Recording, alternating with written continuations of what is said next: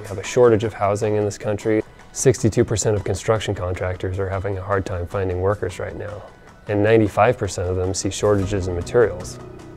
We really need a way that we can build houses more quickly and more cost effectively to help our population. It's too expensive, it takes too long, and we think we can do it with a lot less labor and fewer injuries for people. PrinTimber is a project and a material. We use wood waste and thermoset resin in order to 3D print with wood.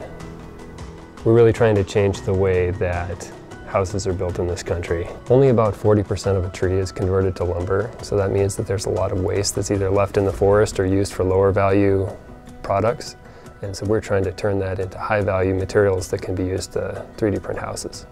Using wood especially, you know, it's a renewable resource. It actually helps control CO2, doesn't emit CO2.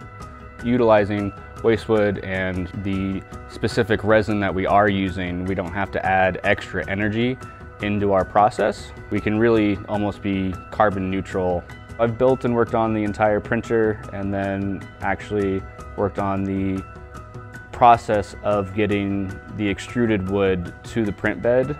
To be able to have one completely separate piece of material adhere to the next piece of material without any human interaction has been very satisfying.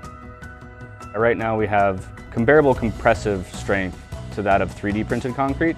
The material itself showed very high fire resistance. Our end goal is to have everything be bio-based. The main continuation of this is to make everything automated to where there really is very little human interaction.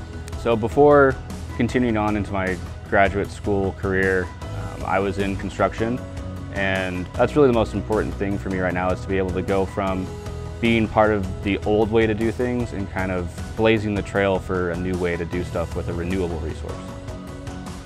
We're trying to use PrinTimber to create a whole new system where we can 3D print with wood and make affordable housing more of a reality in the United States.